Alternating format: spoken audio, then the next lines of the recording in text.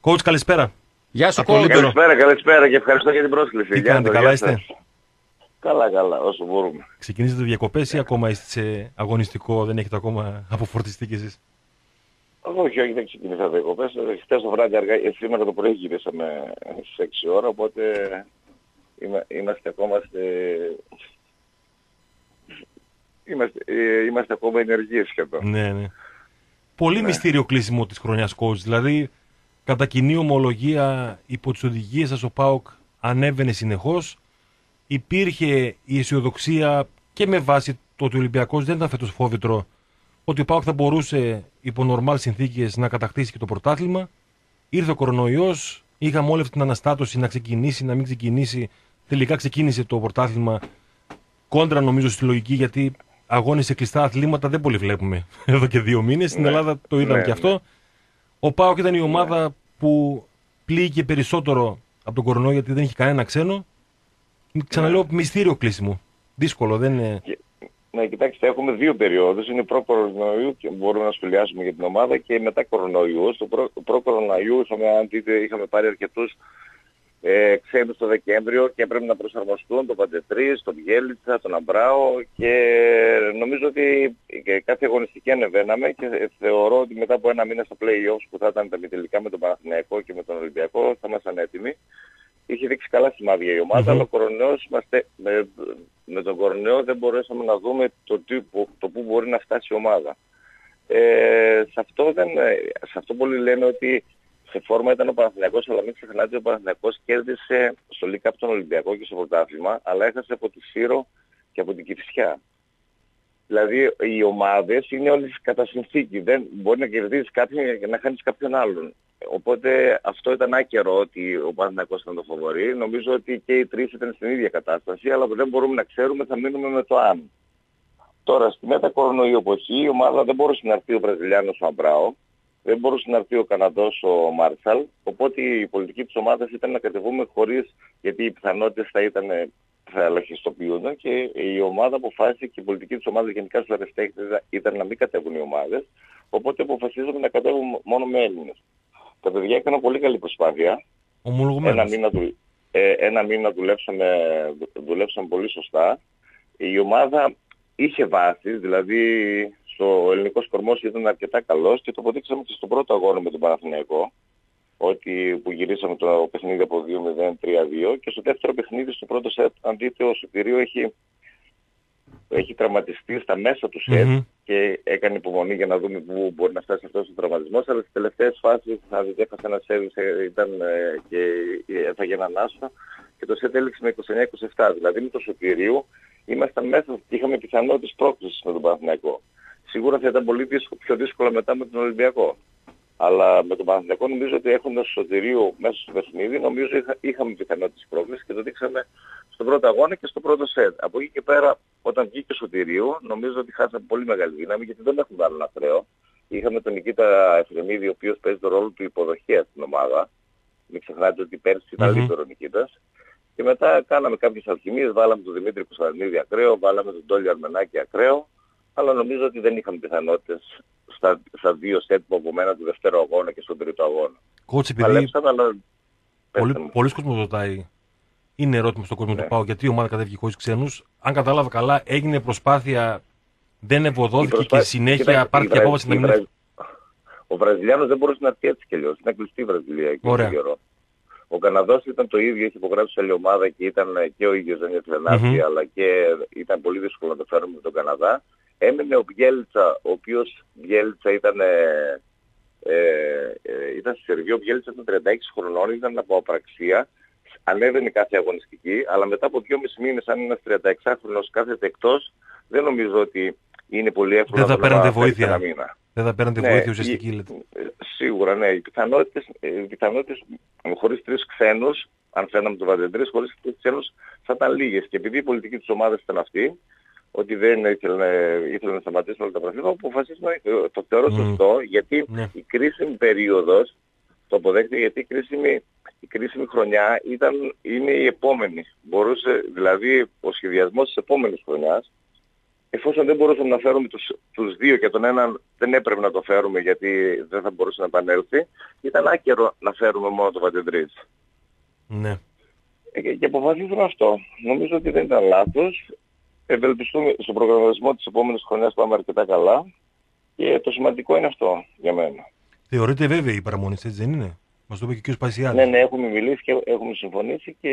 Απομένει το και- τυπικό μόνο για ανακοίνωση και το συμβόλαιο; Ναι, το, το, ε, αυτά θα ανακοινωθούν μαζί με τους παίκτες. Δεν μπορούν ε, Ωραία. μέσα αγώνα να, να ανακοινωθούν, αλλά σχεδιάζουμε, το, προ- ε, κάνουμε τον προγραμματισμό της νέας χρονιάς και σχεδόν είμαστε κοντά για να το κλείσουμε. Α, και να το κλείσετε κιόλας. Ναι, ναι. Για πάω και είναι λίγο παράδοξο αυτό, καταλαβαίνετε, 6 Ιουλίου. να μην να λέμε κοντά στο να κλείσουμε το ρόστερ, εντάξει. Δεν είναι κάτι που Ναι, συνηθίζεται. ναι. Γενικότερα στο σύλλογο, όχι μόνο στο βόλεϊ, σε όλα τα αθλήματα. Έχουμε ένα θέμα. Τέλος πάντων, δε- δε- αυτό δεν μπορώ να το κρίνω εγώ. Σας το λέω εγώ, Σας εντάξει. λέω ότι- ναι, ναι. Εντάξει. Ε, το, το είπατε κι εσείς και κατά κοινή ομολογία νομίζω ότι εάν ο Σωτηρίου δεν ε, τραυματιζόταν, είτε ο Πάοκ θα μπορούσε να κερδίσει το δεύτερο μάτς, είτε να το παλέψει το τρίτο καλύτερα. Ήταν η κομβική σημασία σε ο τραυματισμός του Σωτηρίου. Ε, δηλώσατε κάτι που τουλάχιστον σε μένα έκανε τρομερή εντύπωση, coach.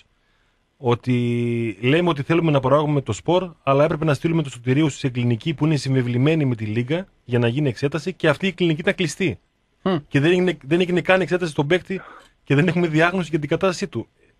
Εντάξει, για μένα είναι, είναι, Παράδειγμα είναι του φοβερό αυτό. Σωτηρίου, Είναι φοβερό ε, αυτό, τα- εντάξει, τα- δεν είναι. Το παραδείγμα του, Σ- του Σωτηρίου είναι σε όλα τα επίπεδα για το βόλεϊ και θεωρώ ότι πρέπει να οργανωθούμε, α, όλες οι πλευρές πρέπει να βελτιωθούμε για να ανεβεί το άθλημα γιατί μην ξεχνάτε ότι το βόλεϊ είναι ένα δυσνόητο άθλημα. Δηλαδή το, το μπάσκετ έχει το καλάθι, είναι να- να μπει το καλάθι μέσα. Στο, βόλεϊ, στο ποδόσφαιρο είναι το τέρμα. Στο βόλεϊ είναι το block out, δεν ξέρω αν το καταλαβαίνουν πολλοί φιλαθλοί. Δηλαδή πρέπει εμείς και σαν προποντές να εξηγούμε στον κόσμο ότι από πού κερδίζουμε, να καταλάβει ο κόσμος το σπορ για να, το, για να, πάρουμε, να, να έχουμε φιλάθλους. Μμμ.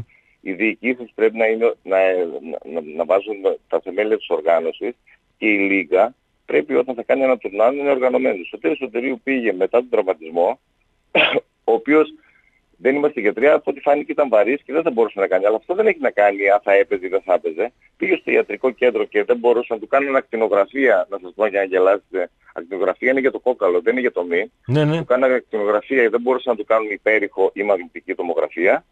Πήγε στο ιατρικό κέντρο και δεν του κάναν τίποτα. Με τα λεγόμενα της Λίγκα έπρεπε να τα πάμε εκεί. Μετά πήγε στο Γυρομέντικα και το Σάββατο ήταν κλειστά στο Γυρομέντικα. Ωραία. Και δεν, δεν, ακόμη σήμερα θα γίνει διάγνωση για το Σωτήριο Σωτήριο. Α ελπίζουμε να είναι τα νέα τα καλύτερα δυνατά για το Δεν Σωτηρίο. νομίζω ότι θα είναι κάποιος βαρύς τραυματισμός, αλλά σίγουρα στα παιχνίδια δεν μπορούσε να παίξει. Ναι. Αλλά αυτό δεν έχει να κάνει αν είναι βαρύς και βέβαια, ελαφρύς. Ε, πρέπει την ίδια ώρα να γίνουν εξετάσεις και μαγνητικές τομογραφίες ή υπέρηχοι ή οτιδήποτε θε- θα πει ένας γιατρός. Γενικά στη χρονιά, coach, τι πρόσημο μπορούμε να βάλουμε. Ο Πάοκ δεν κατέκτησε κάποιον τίτλο. Είχε πάλι πολλές αλλαγές όπως κάθε χρόνο. Τι είναι να γίνει παράδοση. Μπορούμε να βάλουμε κάποιο πρόσημο για τον Πάοκ φέτος; Το πρόσημο είναι ότι το ΠΑΟΚ είναι, α, στην Ελλάδα είναι από τις πιο οργανωμένες ομάδες. Τώρα όλα είναι με ένα αν. Και στην προ-κορονοϊό εποχή τι θα γινόταν μετά από ένα μήνα είναι ένα αν. Και στο, στο, στο δεύτερο τουρνουά ήταν αν είχαμε ακόμη έναν ακραίο ή αν ο Σωτήρης δεν τραυματιζόταν τι θα γινόταν. Δεν μπορώ να σας πω κάτι άλλο. Ναι. Πάντως είναι δεδομένο σε αυτό που λέγατε νωρίτερα για Σίγουρα ο τον. ΠΑΟΚ, ο ΠΑΟΚ ζει για τίτλους. Αυτό είναι, το, αυτό είναι το ζήτημα. Νομίζω ότι με αυτόν τον προγραμματισμό που κάνουμε για τον χρόνο ο ΠΑΟΚ θα ξαναμπεί στους τίτλους. Εννοείται πως είναι Όχι, δε- νομίζω δεδομένη. είναι πολύ αισιόδοξο, Ναι. είναι πολύ- θα είναι πολύ δυνατό το ρόστερ. Είναι δεδομένη η αλλαγή όλων των ξένων, έτσι δεν είναι; Δεν το συζητάμε καν. Για τους Ο Έλληνε. Βαντεντρί- Ο, ο, ο Βαντεντρί- ε, δεν μπορώ να σας κάνω ανακοινώσει η ομάδα θα σας κάνει, αλλά ε, ο, από τον Όχι, Βαντεντρί ήθελα να είμαστε πω- πολύ ευχαριστημένοι. να περιμένουμε ολική ε, αλλαγή του ρόστερ ή θα μείνει ένας κορμός παιχτών; Δεν ζητάω να πούμε σε ονόματα. λίγο το, Ε, Αυτά το δεν- πνεύμα της ομάδας. Αυτά, αυτά θα ανακοινώσει η Οκ. ομάδα, αλλά οι αλλαγές, οι αλλαγές θα είναι αρκετές. Οκ. Οι αλλαγές θα είναι Ε, αρκετές, αλλά τα ονόματα και αυτά θα σας τα ανακοινώσει η ομάδα, δεν είναι δικιά μου. ωραία. Είναι, δουλειά αυτό. είναι δεδομένη η coach η ανάγκη να βελτιωθούν πολλά πράγματα, όχι κάποια πράγματα. Διαπιστώνετε την ανάγκη εσείς από όλο τον ε, κόσμο του βόλεϊ να γίνουν κάποια βήματα, γιατί είναι κατά κοινή ομολογία ε, τα τελευταία δύο χρόνια το άθλημα χάνει έδαφος. Δηλαδή εκεί που φάνηκε ότι μπαίνει στα σπίτια των Ελλήνων και μαζεύει κάποιον κόσμο περισσότερο από προηγούμενα χρόνια, τα τελευταία δύο χρόνια βλέπουμε πολλά παρατράγουδα. Και με ομάδες που ξεκινάνε, αποσύρονται, δεν ξεκινάνε καν. Τα πολλά από τα τραγούδα από κάπου ξεκινάνε. Είναι από τη μία οργάνωση. Γιατί όταν βάζουμε στις ομάδες προσπαθούμε να τις βολέψουμε, κάποια στιγμή αυτό θα σκάσει. Πρέπει να... Οι, οι, οι κανόνες υπάρχουν στη Λίγα, mm-hmm. στην προκήρυξη της Λίγας. Απλά δεν τηρούνται. Αν τηρηθούν κάποια στιγμή δεν μπορεί ε, να σου πω κάτι. Ε, ο Πάκος αυτή τη στιγμή έχει πληρώσει μέχρι το τελευταίο ευρώ. Mm-hmm. Οι άλλες ομάδες μπορεί να, ε, από ό,τι ακούγεται, δεν μπορεί να είμαι σίγουρος, από ό,τι ακούγεται και μιλάμε με τους άλλους προποντές και τους παίκτες, δεν έχουν πληρωθεί. Αυτό είναι unfair. Γιατί μπορεί εσύ να, να μην έχεις τα λεφτά και να, κάνεις, να παίρνεις ομάδα ε, παίκτες μεγαλύτερης αξίας. Αυτό στα προηγούμενα πρωταθλήματα ελέγχεται ότι αν έχουν πληρωθεί κάθε μήνα οι παίκτες. Η ίδια κουβέντα γίνεται και για το, και για το μπάσκετ. Δηλαδή ομάδες που δεν πληρώνουν να μην είναι τόσο ελαστικό το σύστημα. Ναι, κάποια, στιγμή. Κάποια, στιγμή πρέ, πρέ, κάποια στιγμή πρέπει να γίνει. Ας πούμε στη Γαλλία, στο βόλιο που ξέρω, ελέγχεται κάθε ομάδα αν είναι 7 του μηνός, έχει, έχουν μπει όλοι οι μισθοί.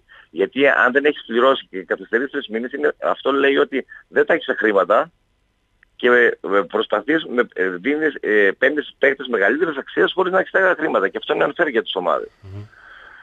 Ευτυχώς εμάς δεν, δεν έχουμε τέτοια θέματα. Στις ομάδες που δουλεύω τα τελευταία χρόνια δεν έχουμε τέτοια θέματα, αλλά πρέπει να οργανωθεί όλο το σύστημα. Δυστυχώς, σε αυτές τις συζητήσεις που κάναμε αυτή τη εβδομάδα που είμαστε στην Αθήνα, νομίζω ότι οι νοοτροπίες δεν αλλάζουν εύκολα. Το ναι. λέω με βαριά, με βαριά καρδιά, αλλά οι νοοτροπίες δεν αλλάζουν τόσο εύκολα. Όλοι όμως πρέπει να γίνουμε πιο επαγγελματίες προπονητές, πιο επαγγελ... οι παίχτες, οι διοικήσεις, όλοι πρέπει να βάλουν το λιθαράκι μας. Δεν είναι μόνο η οργάνωση, είναι και, είναι και οι παίκτες, είναι και οι προπονητές, όλοι μας πρέπει να βελτιωθούμε. Coach, κάτι τελευταίο. Είναι για σας παράσημο το ότι ο κόσμος που ασχολείται με το βόλι αναγνωρίζει την καλή δουλειά που κάνατε φέτος, από τον Οκτώβριο και μετά.